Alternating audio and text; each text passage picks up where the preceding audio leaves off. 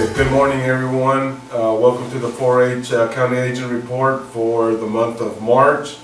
Uh, March 1st, I want to remind everyone that the Frio County Junior Livestock Show Board will be meeting in Dilley at 6 o'clock, and that is our annual meeting.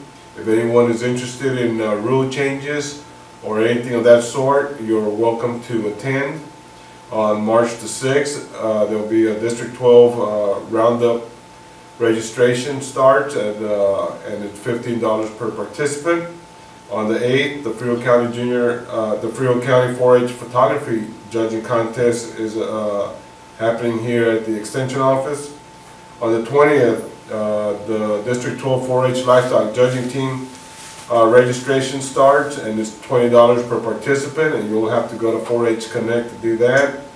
And then on the twenty-first is the District 12 4-H photography deadline, so, uh, we'll inform everyone after the uh, county judging, uh, photography judging contest, uh, who needs to register for the District 12 4-H, uh, contest.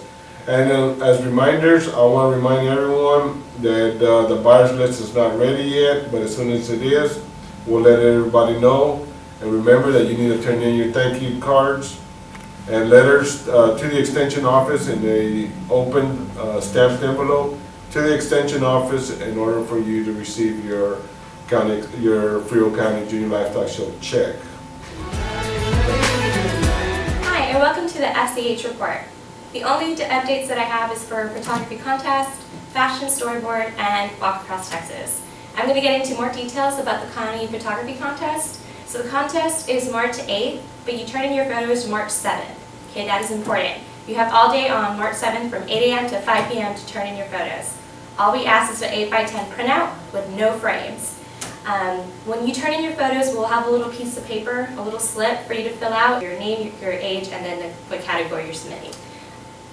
For district, so winners from, from the county show will move on to district. The district deadline to submit your photos is March 21st. You're going to register online through 4-H Connect.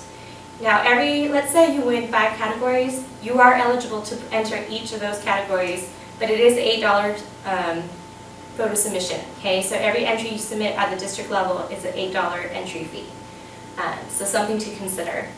But this year, though, we're going to ask something different. So winners from the county contest, please come and meet with us, either email me or stop by the office. We want to check your digital format of your photo. So district this year is going to be a little more strict on the format and quality of your photo.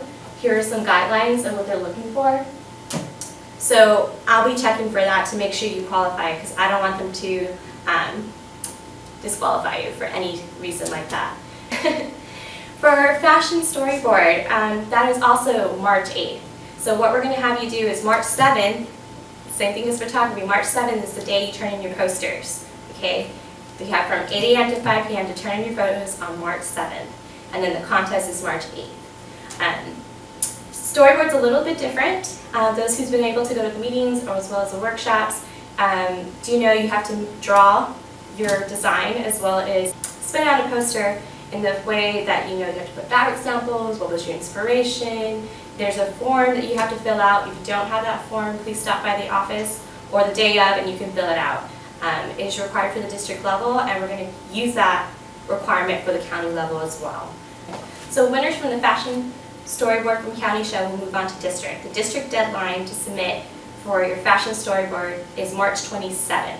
And you will do the same process. You will register online through 4-H Connect.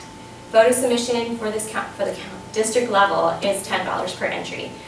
And again, we have a county show for both photography and fashion show, March 7th and 8th. 7th is when, March 7th is when you turn in your photos and posters, and March 8th is when we judge them. So, good luck to everyone who's participating.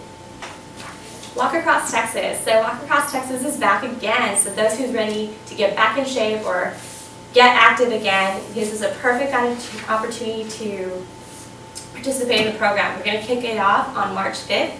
Uh, we'll have a smoothie bike on the actual kickoff here at the conference center from 5.30 all the way to 6.30. If you need help registering, please stop by the office or um, we also have another video explaining how to register. But it's pretty simple, it's been updated. Uh, this is the link, it'll be fun, it'll be great. We're gonna have many prizes for everyone who participates, and the first 50 participants who registered through Walk Across Texas will get a prize. Um, also, to get us going and make sure we do participate through Walk Across Texas, we'll be hosting a Thursdays Walk and Talk. So every Thursday from March 8th through April 26th, we'll be meeting here at the conference room at 6 o'clock p.m. doing a walking DVD.